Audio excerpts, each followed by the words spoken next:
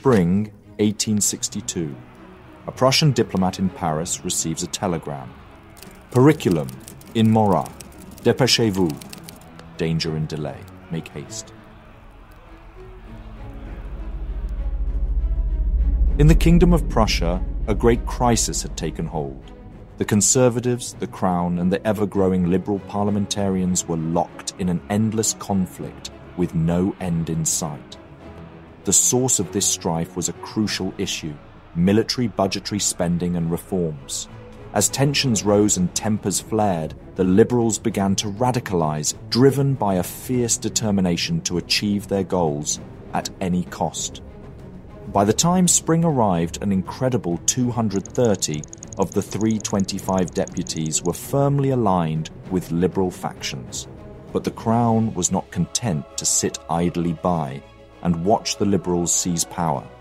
In a bold and daring move, the King dissolved the Parliament and issued re elections multiple times, hoping to break the hold of the Liberals and restore order to the kingdom. Yet, to his surprise, each time the elections were held, the Liberals emerged even stronger than before. Their numbers bolstered by new supporters, and their resolve hardened by the struggle. The fires of unrest continued to rage unabated among the politically inflexible conservative faction, their voices growing ever louder in their desperate desire to break free from the constraints of the constitutional system. But the king, determined to preserve the stability and integrity of the kingdom, refused to be swayed by their fervent pleas. Rather than return to the days of absolutism, he proposed to abdicate in favor of his liberal minded son, the illustrious Crown Prince Frederick. It was a pivotal moment in the history of Prussia, one that would be forever etched into the annals of time, and it was the Minister of War, Albrecht von Roon, who played a key role in shaping the course of events to come. Summoning the Prussian diplomat stationed in Paris with a swift and decisive telegram, he set in motion a chain of events that would forever alter the destiny of the kingdom. For the diplomat, it was the moment he had been waiting for.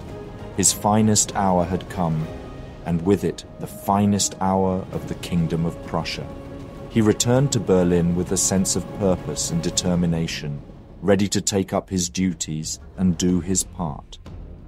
And so it was that Otto von Bismarck stepped onto the stage, a towering figure of history.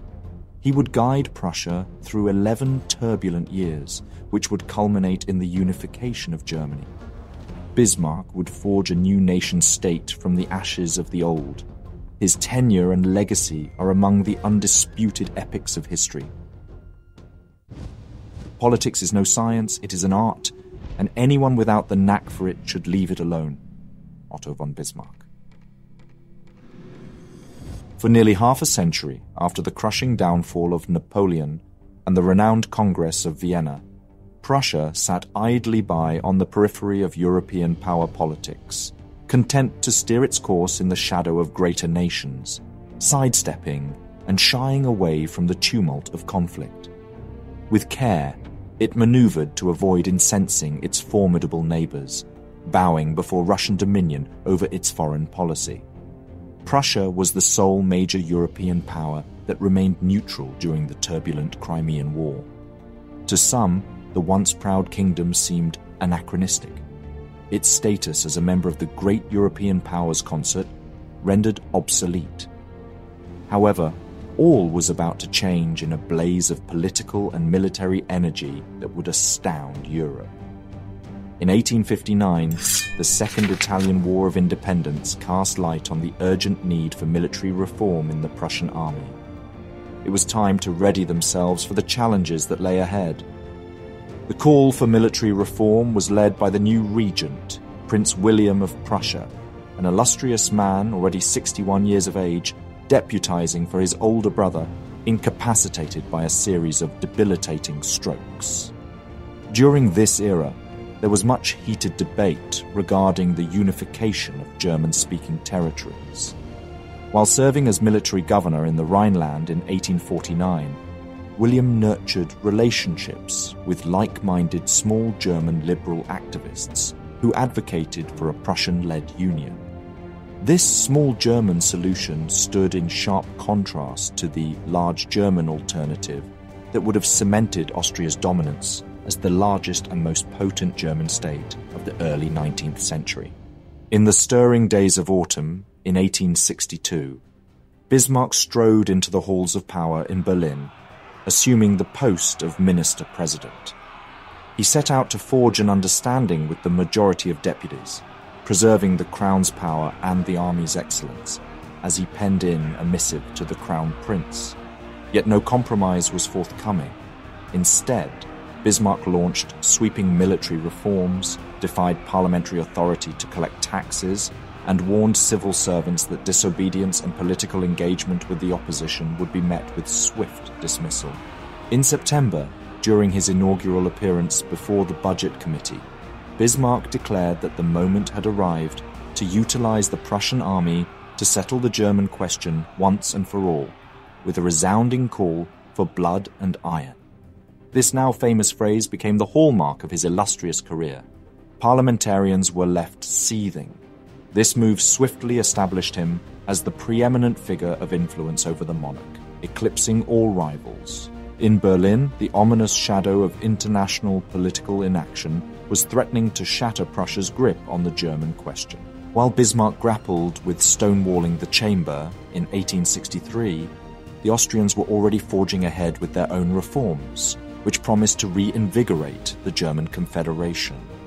The Prussian minister president's achievements in foreign policy seemed meager, to say the least. He succeeded only in blocking Vienna's reform project and continued to rebuff its overtures to join the German customs union.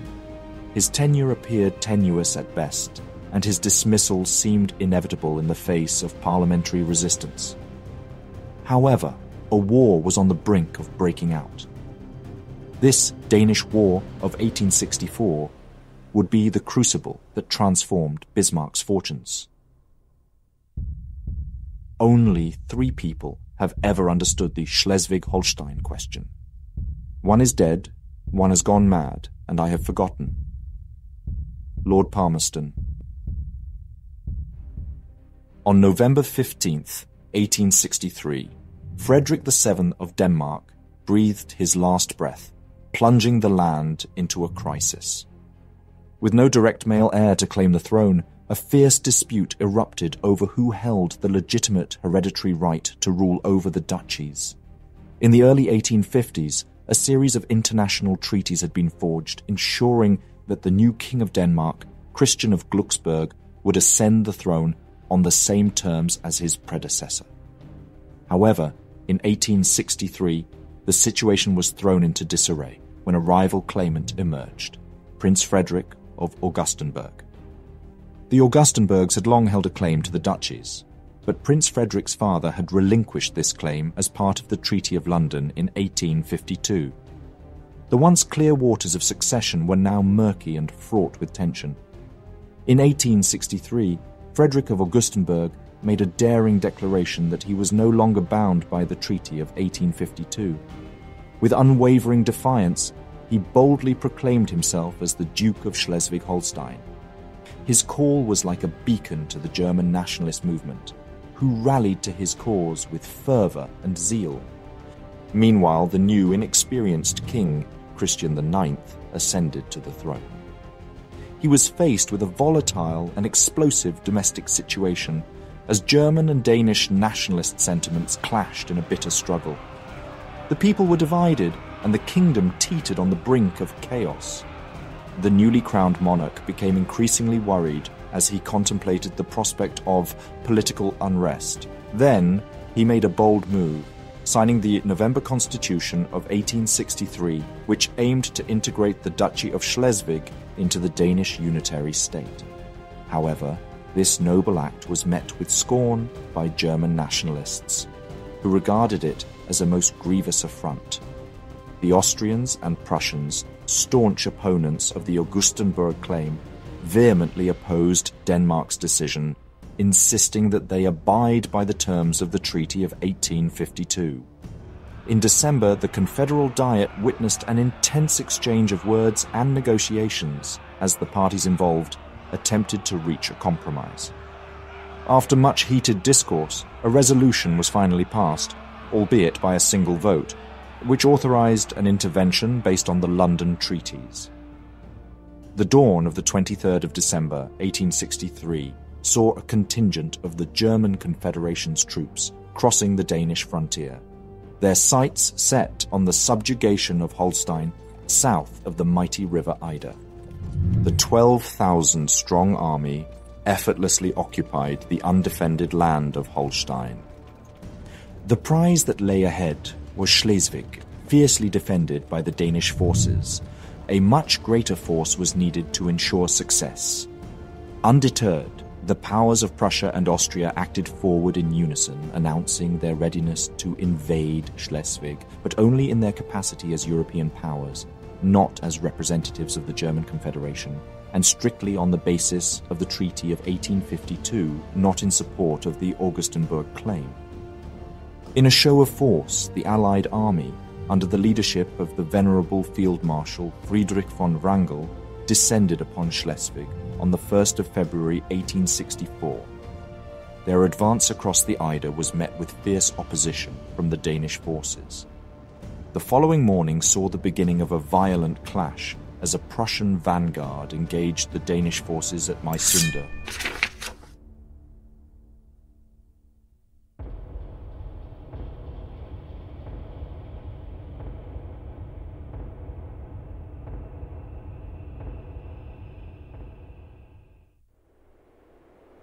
Mysunde stood as a small, humble fishing village, comprising a mere two dozen houses situated on the southern banks of the Schlei. It formed a crucial part of the eastern fortifications of the great Danevirke, a system of Danish fortifications. Yet its true significance lay in the narrowness of the Schlei at this very point.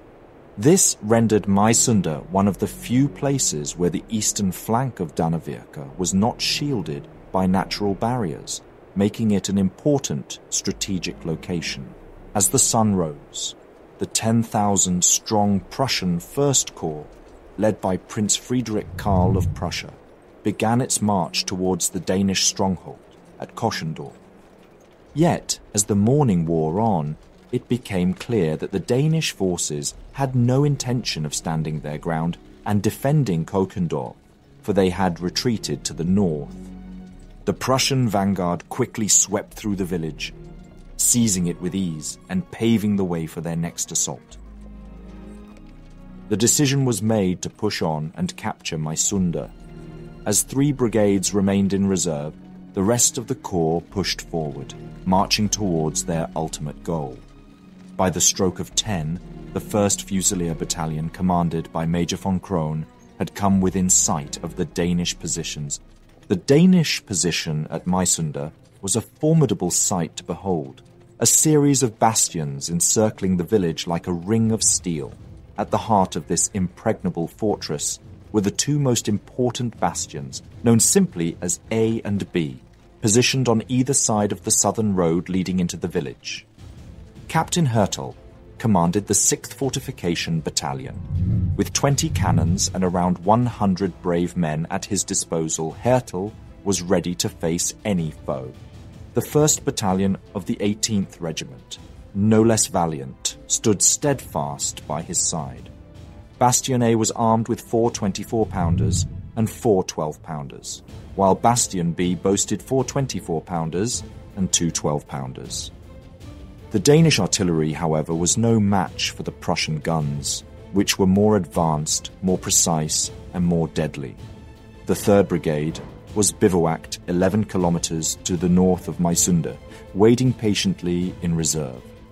The Prussian vanguard was comprised of the Fusilier battalions of the 13th, 15th, and 24th Regiment, as well as the 1st Battalion of the 60th Regiment and the fearsome Westphalian Rifle Battalion.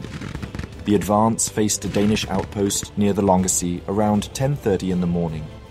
A short but fierce battle ensued, with the Danes putting up a stubborn resistance, but the Prussians proved to be too much for them to handle.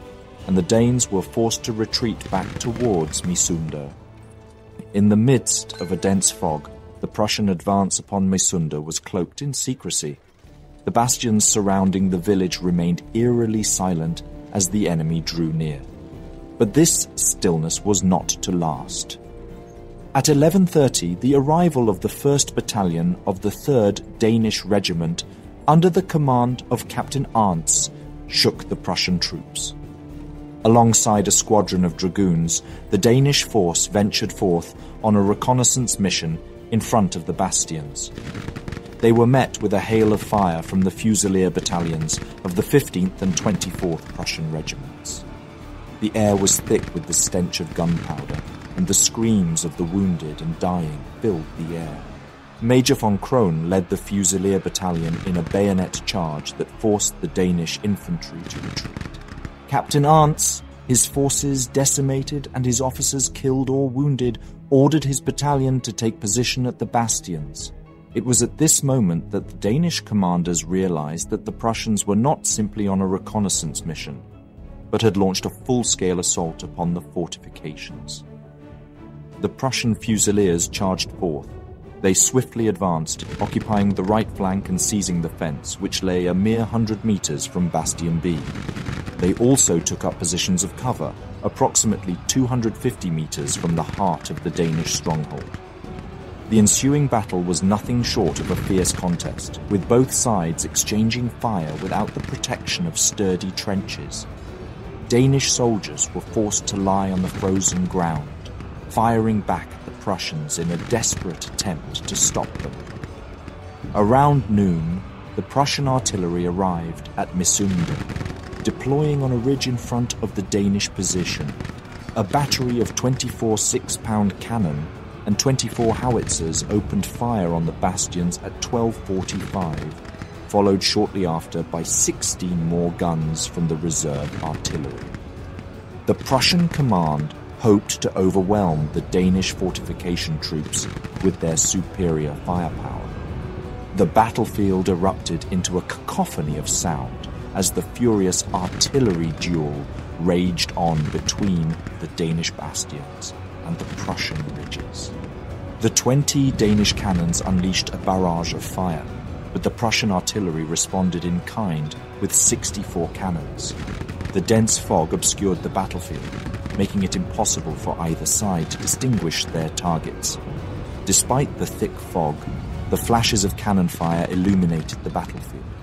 The Prussian infantry, entrenched in their positions, mercilessly picked off Danish artillerymen causing a catastrophic loss of life, particularly in the exposed Bastion B.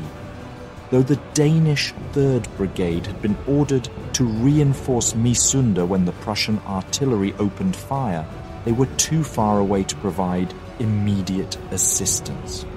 In desperation, two companies of the 2nd Battalion of the 3rd Regiment, stationed on the coast to the northeast of the village, were hastily deployed southward. Meanwhile, the 10th Battery of the Danish Army had arrived at noon and taken up a position on the western banks of the Schlei. In an attempt to quell the unrelenting fire on Bastion B, a brave company of the 18th Regiment charged forward, intent on driving back the Prussian fusiliers entrenched behind the fences in front of the bastion. However, their courage was met with a hail of bullets from the Prussian positions, and they were forced to retreat. Though the Danes put up a fierce resistance, their cannons firing relentlessly upon the Prussians, three of their own cannons were destroyed. The majority of the Prussian shells missed the Danish positions and hit the village instead, causing numerous buildings to catch fire. Despite the intense fire, the Prussian infantry attempted multiple assaults across the open terrain only to be met with a barrage of canister shot and enfilade fire from the Danish bastions. The Prussian howitzers were particularly vulnerable and suffered heavy losses in their exposed positions. Despite making some gains on the right flank of the Danish position, the Prussians were once again driven back by the steadfast musket fire of the Danish infantry. At the height of the battle, the Danish army braced themselves for the impending Prussian assault. Two guns were hastily redeployed to cover the central road into Mysunde, and the Danish infantry stood ready to meet the Prussians with bayonets fixed, determined to defend their position until the bitter end. But just as the tension reached its peak, the Prussians surprised everyone by deciding to withdraw. It was clear that victory could only be achieved through a costly and bloody frontal assault on the Danish fortifications. While the Prussian forces held the numerical advantage, the prospect of heavy casualties was unacceptable to their high command. And so, as the sun began to set on the battlefield, the Prussian forces slowly began to pull back, leaving behind the smouldering ruins of the village of Mysunde as a stark reminder of the fierce battle that had taken place there. The battle between the Danish and Prussian armies had taken its toll, with bloodshed and loss on both sides. The Danes had suffered a total of 141 casualties, including nine officers and 132 enlisted men. The Prussian army had also paid a heavy price for their aggression, with 12 officers and 187 enlisted men falling in battle. The most significant losses were in the Fusilier Battalion of the 15th Regiment, with 60 dead, followed by the 2nd Battalion of the 60th Regiment, which had lost 40 soldiers. Despite their losses and frankly their defeat, the Prussian infantry and artillery were highly regarded for their remarkable performance on the battlefield. The conflict, indeed, marked a critical moment as it was the first examination of the new Prussian army following the reforms. The triumph of the Danish army at Mysunde was of great significance as it prevented the entrapment and encirclement of the Danish army at Danevirke. But the war had only just begun.